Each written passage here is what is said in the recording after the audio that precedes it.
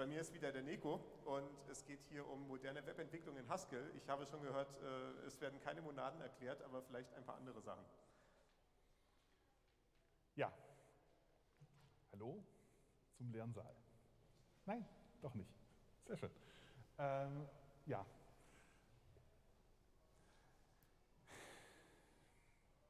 Modernes Web Development in Haskell. Ja. Am Beispiel des Projektes Matheamt.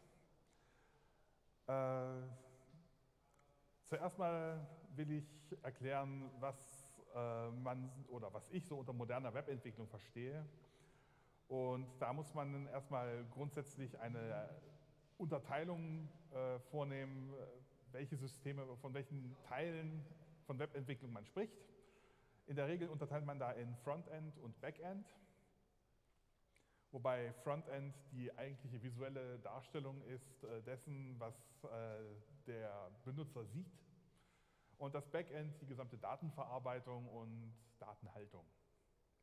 Also im Backend benutzt man typischerweise etwas äh, statischere Sprachen oder ja, nicht ganz so bekannte Sprachen wie im Frontend, PHP, Java im, im, im Enterprise-Umfeld, Ruby oder auch Python. Äh, Im Frontend verwendet man häufig HTML, CSS, JavaScript, klar, weil man ja was darstellen möchte im Webbrowser. Aber de, de, dementsprechend spricht man da häufiger von Frameworks, die eben diese Sprachen benutzen, äh, wie zum Beispiel React oder Bootstrap oder als Hilfs Framework jQuery. Äh, aber wir reden hier jetzt nicht über typisches äh, Web-Development, sondern über Haskell. Was ist Haskell? Haskell ist eine rein funktionale Programmiersprache. Das heißt, Funktionen sind äh, First-Class-Citizens äh, dieser Programmiersprache und werden, äh, sind anderen äh, Datentypen gleichgestellt. Haskell ist nicht strikt evaluiert, wie im Gegensatz zu den meisten anderen Programmiersprachen. Das heißt, äh, der Wert einer Zuweisung wird nicht erst dann, äh, wird nicht ausgewertet, sobald man diesen Wert eingibt, sondern erst, wenn er gebraucht wird, wenn tatsächlich eine Auswertung passiert. Also nicht bei der Zuweisung, sondern erst bei der Auswertung. Haskell ist stark statisch typisiert, das heißt, äh, die Typen müssen bei der Compile-Zeit schon feststehen und können sich nicht zur Laufzeit ändern. Das mag zwar blöd klingen, äh, in der Hinsicht, dass man überall die Typen dran schreiben muss, muss man nicht, denn es gibt die sogenannte volle Typinferenz.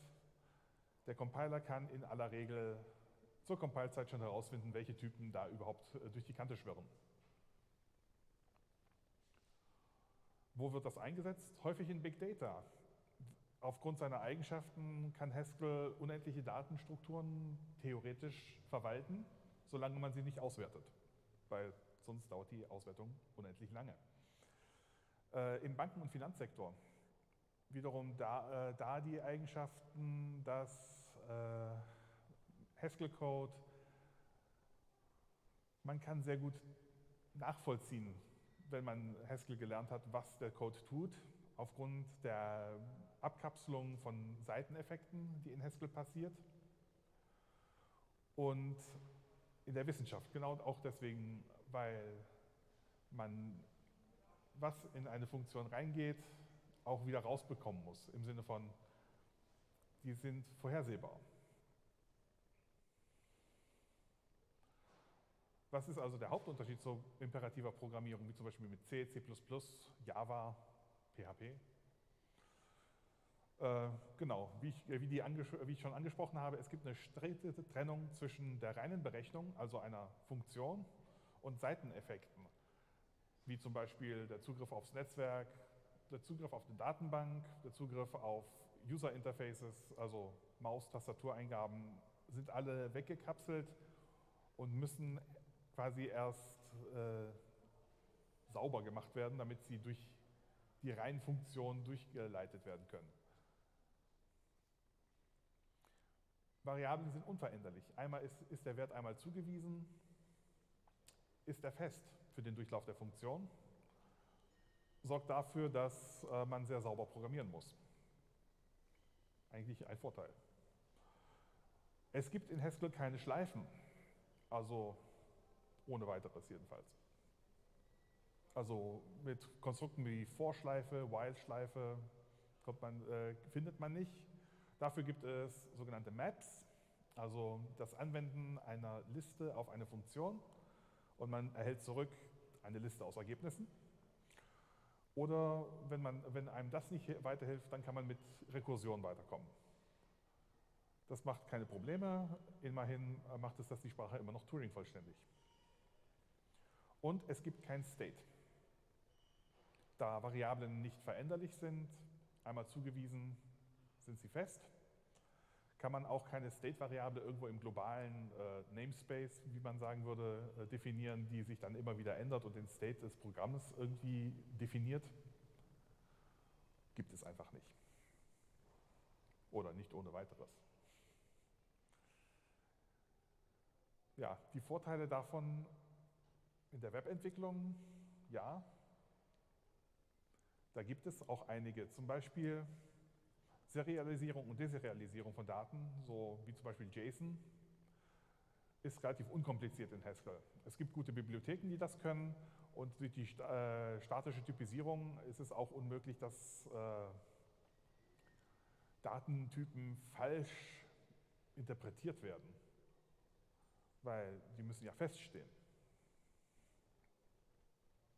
Datenverarbeitung kann leichter auf Korrektheit geprüft werden. Wie gesagt, die Funktionen sind nicht seiteneffektbehaftet in aller Regel. Dementsprechend kann man auch mit äh, automatisierten Test-Frameworks äh, arbeiten, die einfach äh, Input reingeben und wissen oder eine Erwartung äh, auf das Ergebnis stellen können, welche einfacher nachzuvollziehen ist als bei seiteneffektbehafteten Funktionen in anderen Programmiersprachen. Webanwendungen sind in der Regel zustandslos, also haben keinen State. Warum also eine Stateful äh, äh, Programmiersprache verwenden? Und Webanwendungen haben häufig konkurrente Anfragen und dementsprechend äh, können, äh, müssen da entsprechend die Programmiersprachen das, oder auch die Frameworks und Bibliotheken handeln können. Haskell kann das von sich aus relativ gut und dementsprechend muss man, äh, hat man da nicht viel Schmerzen mit. Gehen wir nun auf das genaue äh, Projekt Marteamt zu. Das Marteamt ist äh, der Nachfolger vom Yamat. Äh, der Yamat ist die zurzeit verwendete Getränkeverwaltung im, bei uns im Club und äh, ist momentan auch immer noch in Benutzung weil das Marteamt noch nicht fertig ist. Aber nun die Konvention beim Marteamt, die Programmiersprache ist nach wie vor in Haskell, genauso wie beim Yamat. Aber das Marteamt ist nur ein Backend. Es ist nur eine API. Also es ist keine Webseite wie, das, wie der Yamat, äh, der einfach äh, einem ein User-Interface bietet, wo man Knöpfe drücken kann sich ein äh, Getränk klickt, äh, sein Guthaben abgebucht bekommt und fertig. Ja, sondern es ist nur ein Backend. Es macht nur die Datenverwaltung und Datenhaltung und bietet nur eine API an, mit der man über JSON-Objekte mit ihr reden kann. Dementsprechend verfolge ich mit dem Materamt eine Art Microservice-Architektur. Das Backend ist für sich gestellt, das Frontend muss noch erzeugt werden. Das, äh, das, der Yamat hingegen war ein Monolith, ein Monolith. Da wurde alles zusammengemischt. Auf einen Knopfdruck im, äh, im HTML-Dokument wurde eine Datenbankabfrage gesendet. Hm, hatte auch äh, schon interessante Nebeneffekte bei uns äh, in der Getränkeverwaltung gehabt. War nicht schön. ja, dementsprechend, wenn es gar kein Frontend gibt, wie bedient man den tatsächlich? Nun, zukünftige Benutzer des Mateamtes will ich hier sehr freundlich bitten und einladen und auch äh, ja, unterstützen, ihre eigenen Clients bzw. Frontends für diese API zu schreiben, in jedweder Programmiersprache, die sie äh, gerade beherrschen oder auch benutzen möchten oder lernen wollen.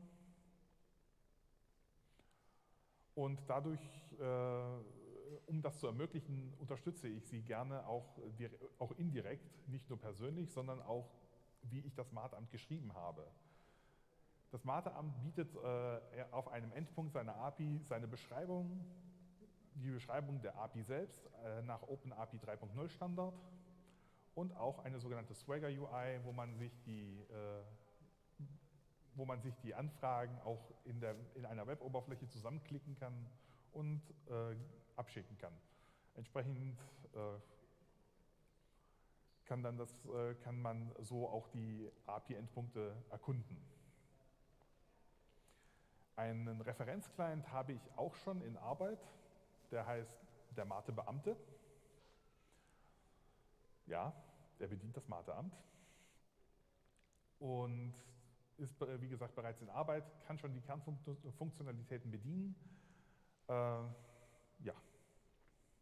Und als nächstes würde ich euch bitte, äh, würde ich euch äh, gerne etwas im Code zeigen oder ein bisschen zeigen, wie der Code im Matheamt aussieht.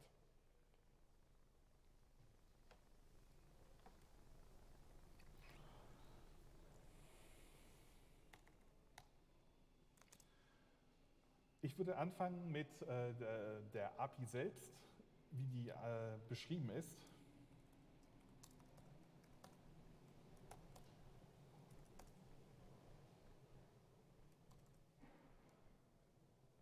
Ah, entschuldigt.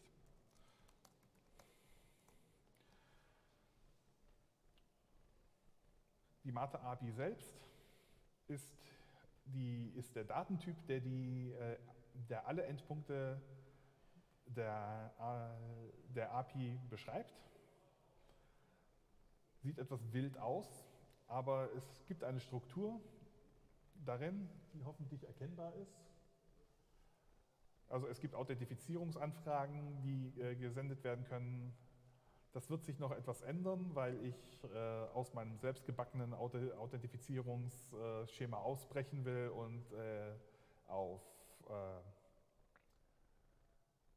jetzt darf ich die Abkürzung nicht falsch aussprechen, äh, JSWT, also JavaScript Web Tokens, um, ummünzen will. Dementsprechend alle Endpunkte, die hier mit auf anfangen, werden sich noch ändern. User, äh, alle Endpunkte, die hier mit User anfangen, sind zur Verwaltung des Users gedacht. Also User, äh, also slash v1, wie hier oben beschrieben wird. Also es fängt an mit slash v1, slash user und wenn man da einen Post-Request sendet mit einem JSON-Inhalt äh, des Typs UserSubmit, legt man einen neuen Nutzer an. So muss man das etwa verstehen, äh, wenn man das liest. Entsprechend kann man sich mit GET-Requests äh, User-Details geben lassen. Oder wenn man weitere User-Details äh, ändern will, dann schickt man einen Patch-Request, eben wie es in, in einer REST-API durchaus gebräuchlich ist.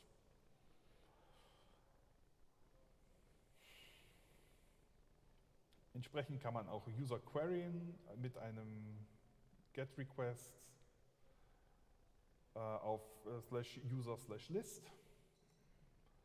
Und slash user slash recharge äh, sagt einem auch, hier, ich würde gerne äh, Geld aufladen auf mein Konto, muss man sich natürlich als dieser User authentifiziert haben und entsprechend in, im Header äh, die Header-Authentifizierung haben. Das ist äh, ja, etwas äh, fortgeschrittenere Typmagie äh, der Library Servant.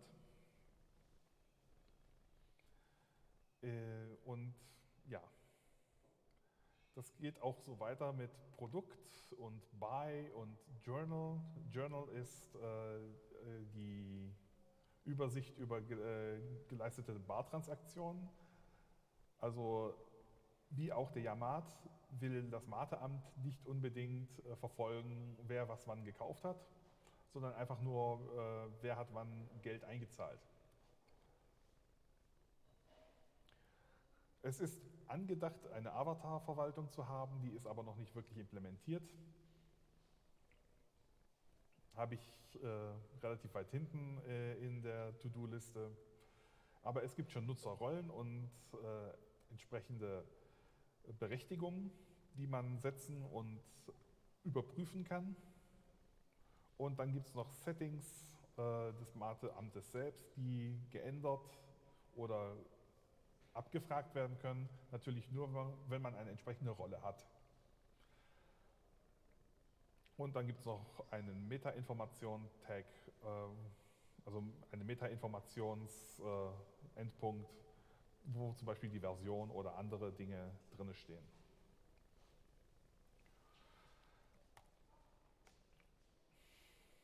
Untergliedert ist das ganze Matheamt äh, in mehrere Module und die sind auch gruppiert. Ich habe da, äh, als ich angefangen habe, äh, ein MVC, also ein Model View Control, mehr oder weniger angestrebt.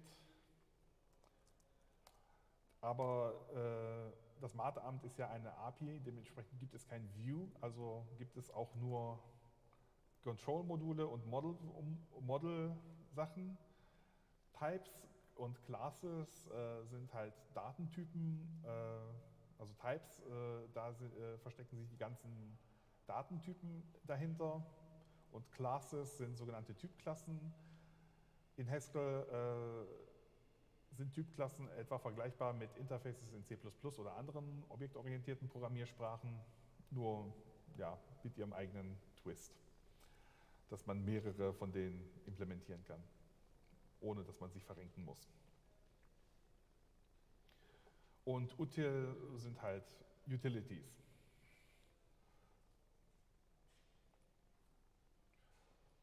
Datentypen sind in Haskell relativ äh, schön äh, gelöst.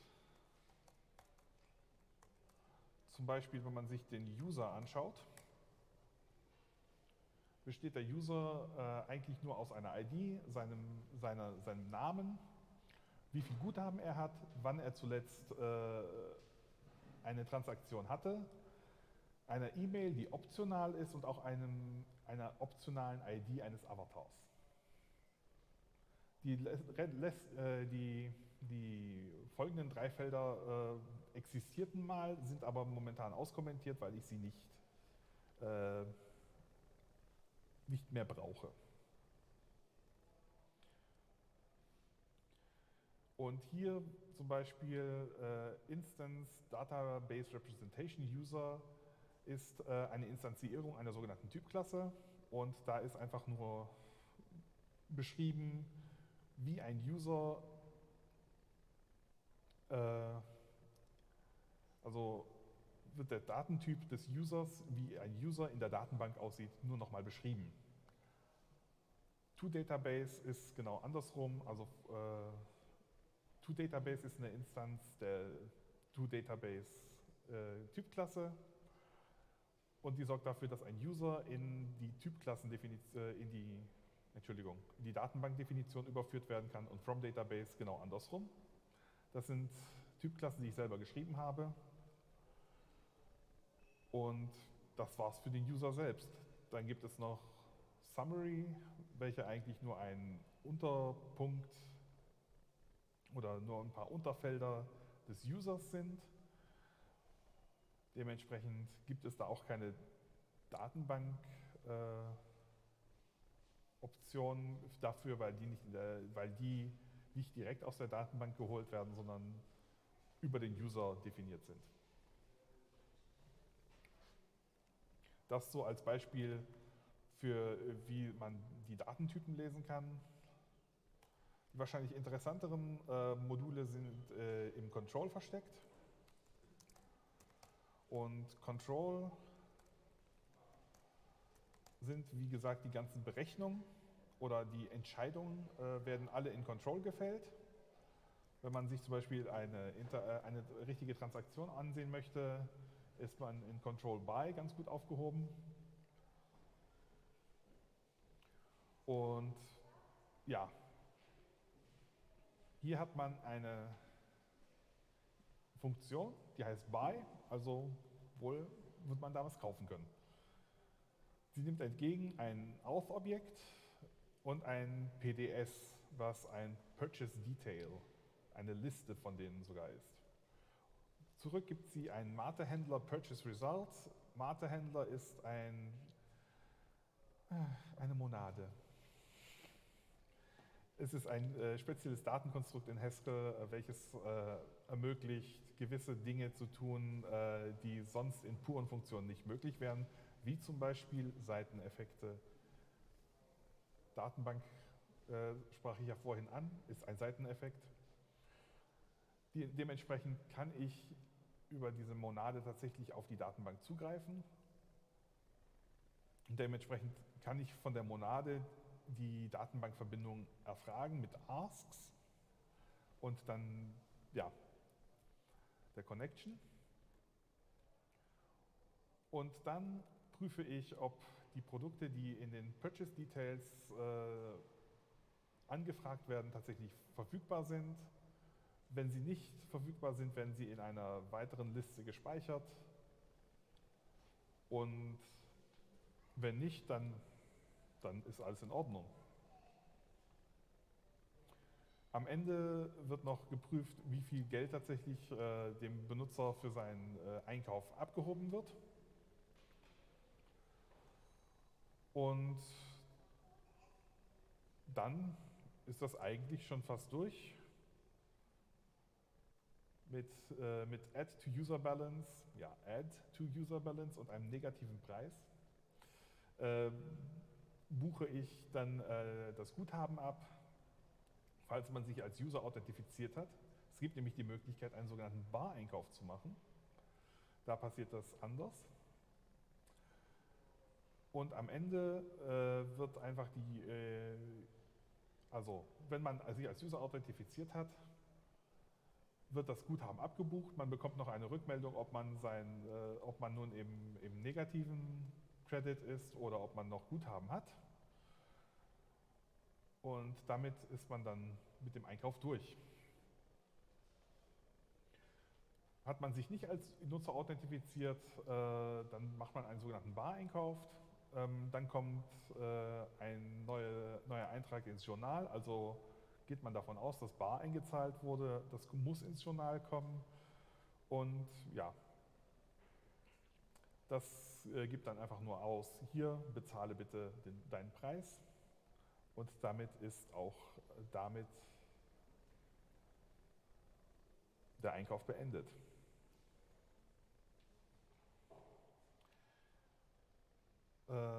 Ich hoffe, ich, damit kann ich ein bisschen die Verwirrung nicht weiter anstiften, die schon wahrscheinlich herrscht. Deswegen kehre ich nun lieber zurück äh, zu meiner Präsentation. Wir sind gelandet. Falls euch der Code doch noch weiter interessiert, ihr findet den Code sowohl fürs Matheamt als auch für den Mathebeamten auf meinem persönlichen Gitti. Diese, äh, die Repos sind öffentlich geschaltet. Ihr könnt den Code euch anschauen, eventuell Verbesserungsvorschläge hinterlassen und so weiter. Gibt es dazu Fragen?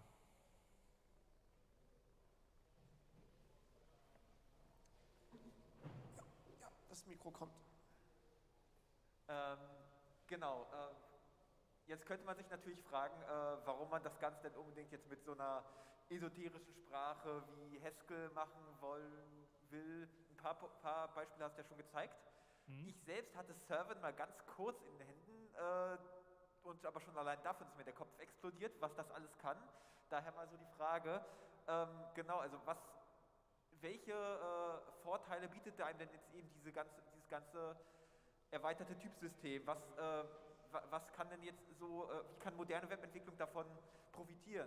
Ähm, also du, man hat ja gesehen, du hast die API auch direkt auf Typebene definiert. Mhm. Äh, was kann denn damit noch gemacht werden? Werden damit jetzt irgendwie wird damit nur der Code gecheckt oder kann da noch was draus generiert werden? Wie zum Beispiel die API-Deskription oder noch ganz viel andere Magie, die dann letztendlich Arbeit spart und Korrektheit sicherstellt? Äh, du hast es gerade schon richtig angesprochen. Ja, dadurch, dass die API äh, wirklich als gesamter Datentyp definiert ist, kann ich mir aus diesen Datentypen und seiner Beschreibung, wie, wie sie da stand, die Swagger UI und die Swagger JSON generieren lassen. Also eine Änderung an der API selbst äh, wird sofort, äh, sofort automatisch übersetzt. Ich muss da nicht nochmal irgendwelche äh, Dateien händisch anfassen, damit äh, quasi der Zustand der API und der Swagger JSON äh, synchron ist. Äh, äh, weitere Vorteile äh, ergeben sich auch daraus, dass ich anfangen kann, automatisiert mit Testing-Frameworks wie zum Beispiel HSpec oder sogar QuickCheck mit zufälligen Daten meine ganze API zu testen. Da gibt es Plugins quasi für QuickCheck für, die dann, also Servant-QuickCheck heißt die Library, die das macht. Äh, da kann ich wirklich automatisiert zufällige Daten äh, gegen meine, äh, meine API schießen lassen und schauen, ob der Server tatsächlich auch äh, richtig antwortet. Ich hoffe, das äh, klärt deine Frage. Hast du dir schon mal Haskell im Frontend angeguckt? Gibt es sowas überhaupt? Also, dass ja. Haskell nach WASM kompiliert wird oder sowas? Äh, also, ja, es gibt Haskell auch im Frontend. Man kann sich äh, HTML über sogenannte äh, über die Blaze-Bibliothek machen äh, oder bauen lassen. Äh, ja, das äh, äh, sieht ein bisschen wild aus manchmal, aber es geht. Der Mate-Beamte ist tatsächlich so gebaut. Aber selbst in der Dokumentation zu Blaze steht manchmal, will man das wirklich so machen? Äh, deswegen bin ich am überlegen, ob ich dann äh, nicht doch äh, eine andere Bibliothek noch verwende. Aber da müsste ich noch, wie gesagt, ein bisschen Forschungsarbeit betreiben. So, ich habe noch eine kurze Frage. Ähm, wie sieht es mit WebSockets aus? Moderne Webprogrammierung bedeutet ja auch, dass ich solche Technologien wie WebSockets einsetzen will. Ähm, bietet Haskell dafür eine Möglichkeit? Das habe ich jetzt tatsächlich nicht, äh, nicht auf dem Schirm ob ich WebSockets wirklich einsetzen kann. Äh, würde mich wundern, aber wenn nicht. Weitere Fragen? Ja, ich würde mich auch gerne mal interessieren. Also ich komme jetzt eher aus einer Welt, in der man klassisch programmiert, Java, C, solche Dinge. Und ich vergleiche es jetzt gerade in Gedanken mit deinem Ansatz, das mit Haskell zu machen. Und ich überlege gerade, wie sieht das mit der, mit der Testbarkeit des Codes aus? Also wenn ich jetzt meinen JUnit-Test schreibe oder was, ist das vergleichbar? Gibt es vergleichbare Instrumente, die man in, in Haskell verwenden kann? Oder kommt das automatisch mit? Oder macht mir das das System einfach zu testen? Oder was sind denn da deine Erfahrungen? Geht das besser, schlechter? Äh, das hängt ganz äh, davon ab, wie du deinen Code geschrieben hast in Haskell auch teilweise. Sobald du halt mit, äh, mit Seiteneffekten zu tun hast, wie gut du diese Kapselung tatsächlich einhältst. Aber ja, reine Funktionen in Haskell lassen sich sehr einfach testen, weil aufgrund der Eigenschaften von nicht mutierbaren Variablen oder Statelessness äh, des gesamten Codes, äh, äh, kannst du davon ausgehen, dass äh, bei gleichem Input äh, in eine Funktion immer auch der gleiche Output aus der Funktion rauskommt. Dementsprechend sind Unit-Tests äh, auf einer Ebene automatisierbar, dass, du das, dass du eigentlich nicht sehr viel Aufwand damit hast. Und in der echten Welt, also jetzt dein Beispiel mit der Mate-Software, wie sieht es da aus? Kannst du da diese Standards einhalten oder hast du dann doch Seiteneffekte, die dich dann quasi dir das Leben schwer machen? Äh, nö, eigentlich nicht. Also du kannst natürlich auch äh, eine temporäre Datenbank aufstellen, äh, aufsetzen, äh, äh, jetzt im, im, Sinne von Integration-Tests. Ob nun, äh, da musst du wiederum die, diese temporäre Datenbank richtig befüllen aber äh, die kann dann auch genauso automatisiert abgetestet, äh, in automatisierte Tests eingebunden werden. Ich hoffe, das klärt eine Frage. Jo. Noch weitere Fragen?